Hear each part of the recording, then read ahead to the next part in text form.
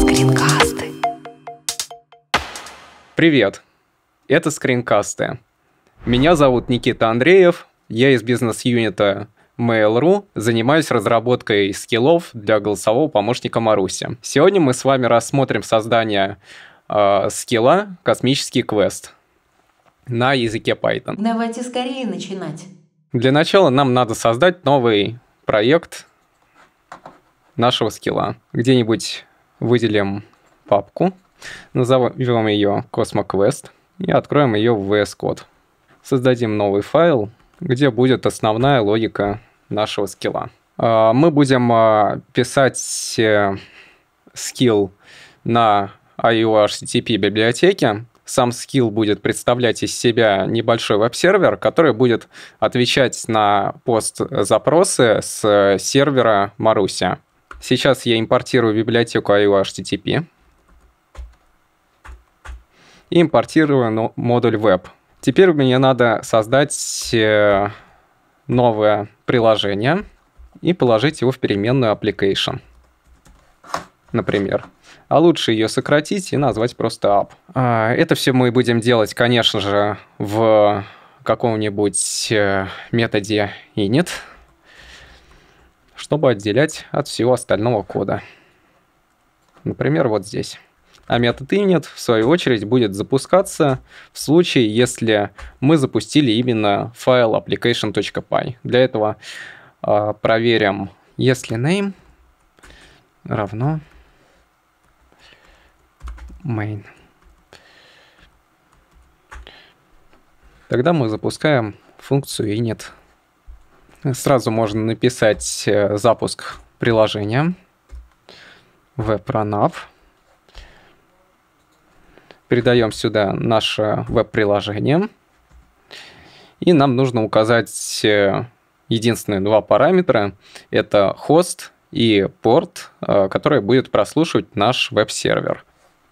Для простоты кода мы укажем их в качестве псевдоконстант. Хост IP –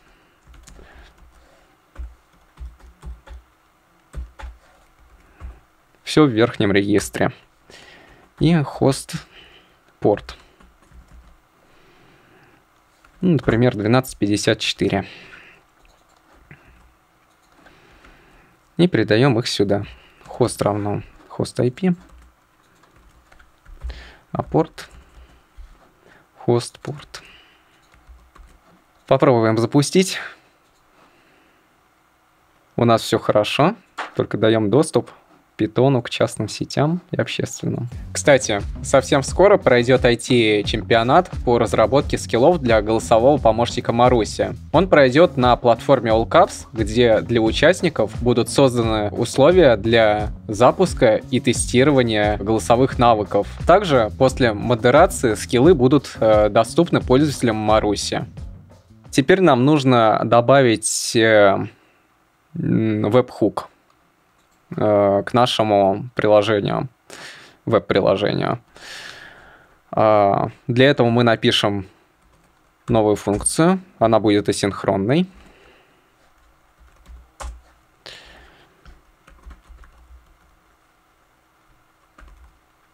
Обычно они называются по своему назначению. То есть, если у нас будет космический квест, то мы назовем ее как uh, skill space, например.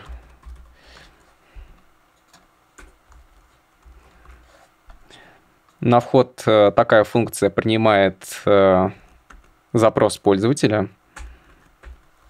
Или не только пользователя, но и любой другой программы, которая будет обращаться к нашему серверу. Теперь нам надо зарегистрировать э, этот метод э, через э, объект роутер внутри объекта app с помощью метода addPost.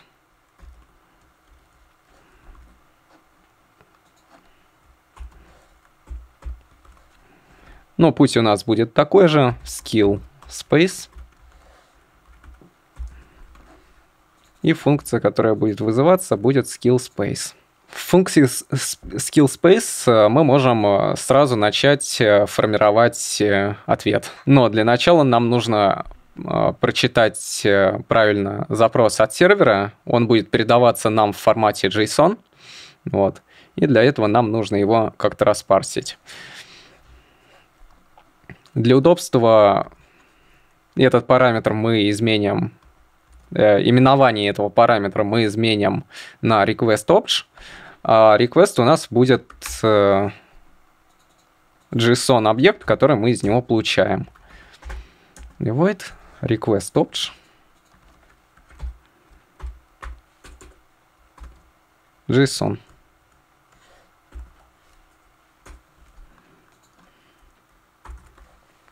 Сразу мы можем э, начать формировать э, response от нашего сервера, как я уже сказал ранее.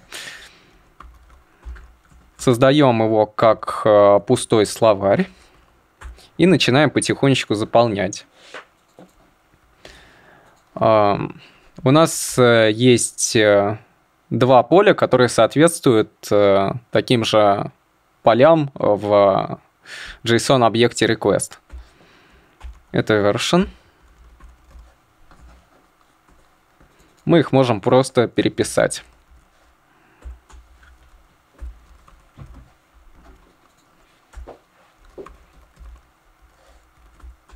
И session.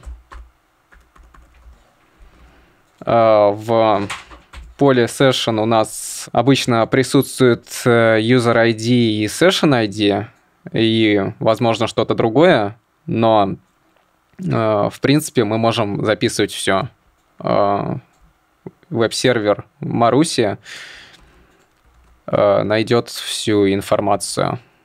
То есть мы создаем пол, полную копию того, что было в session, и помещаем все туда. Даже поля, которые не нужно. Ничего страшного в этом нету. И можем сразу же начать формировать сам ответ – он записывается в поле response. И это еще один словарь. И здесь мы можем сразу указать э, поле end session равно false. Что означает, что закрывать сессию после текущего обращения к скиллу не нужно.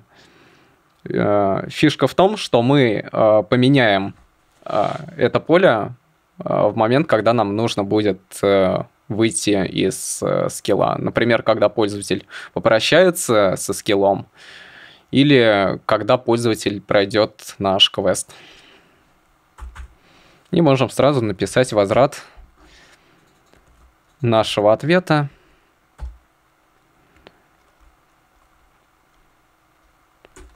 только в формате JSON.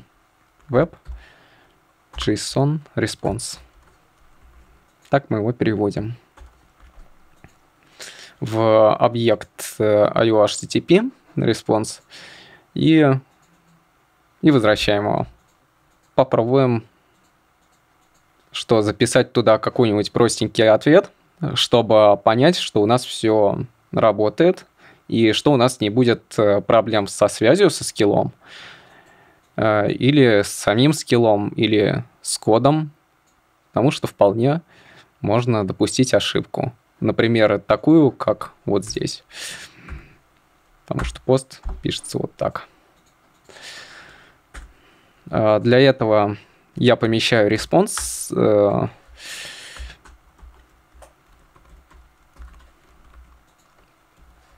текст в наш ответ.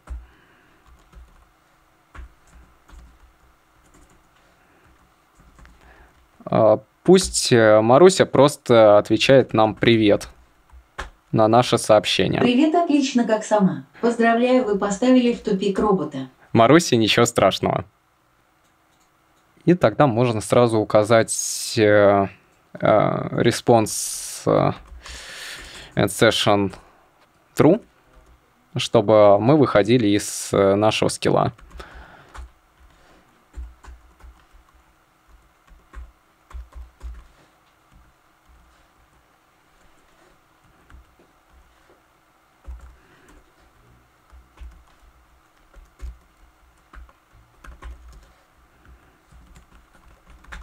Как я уже говорил, это проще будет сделать позже, когда нужно, чтобы не делать э, много раз выставление этого флага на false. Так, запустим наше приложение. И у нас есть еще один очень важный момент. Когда веб-сервер Маруси обратится к нашему HTTP-серверу, он э, захочет передать нам данные э, по протоколу HTTPS. Это шифрованный протокол, э, который на IO-HTTP так просто, как я сейчас э, сделал, не сделаешь. Поэтому мы используем для этого маршрутизацию через э, Nginx. Nginx может э, стоять на каком-нибудь удаленном сервере, например, как на том, который у меня сейчас подключен и успешно отключился. Сейчас мы его запустим заново. Удаленный веб-сервер соединен с этим ноутбуком, в данный момент по VPN-туннелю через Хамачи. Э, То есть у меня запущен Хамачи на этом веб-сервере. Вот мы видим, что он горит. Значит, он в сети. Я его даже могу в данный момент спокойно пингануть по его айпишнику. И все будет ок.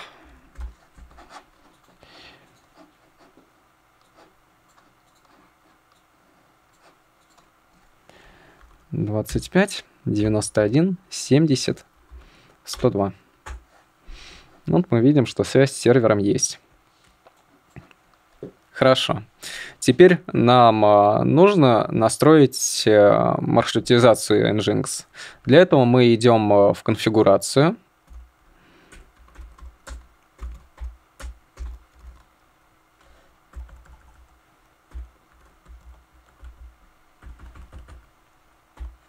Она у нас находится в файле nginx.conf.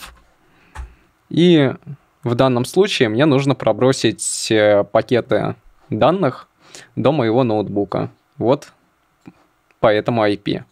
У меня уже есть э, тестовый URL, э, по которому я пробрасывал трафик с Nginx. Вот.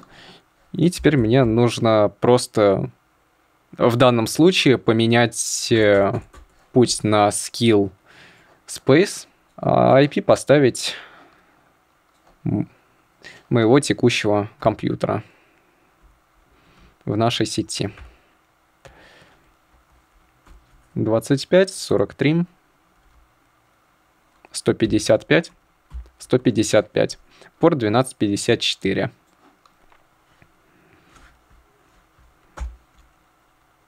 Сохраняю конфигурацию и перезапускаю Nginx. Отлично. А, теперь следующий шаг э, это зарегистрировать наш э, скилл э, во ВКонтакте. Переходим на страницу разработчикам ВКонтакте во вкладку «Мои приложения» и создаем новый скилл. Как э, вы видите, у меня уже есть э, скилл космическое тестирование, потому что это реальный скилл, который э, был выпущен. Назовем наш скилл космический квест.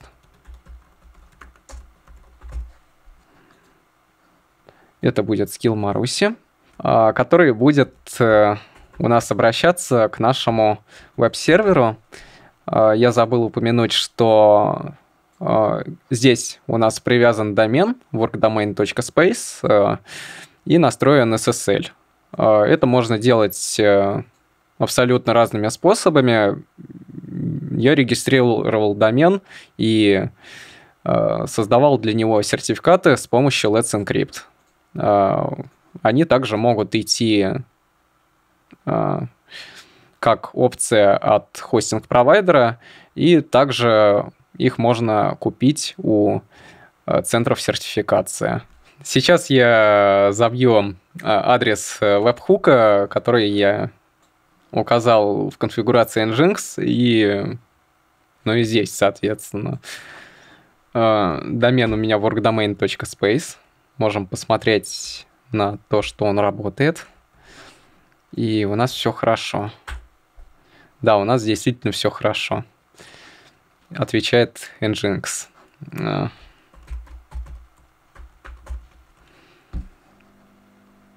Все, забили наш URL и нажимаем «Создать скилл» и подтверждаем. Мне сейчас пришло смс с кодом. Вбиваю код. Наш скилл создан. Так как э, имя предыдущего скилла у нас совпало с уже существующим скиллом, мы его переименовали э, в скилл «Космическое путешествие». Э, теперь нам осталось только его проверить. Маруся, запусти скилл «Космическое путешествие». Привет. Она нам отвечает «Привет». Хорошо. От этого мы будем отталкиваться дальше.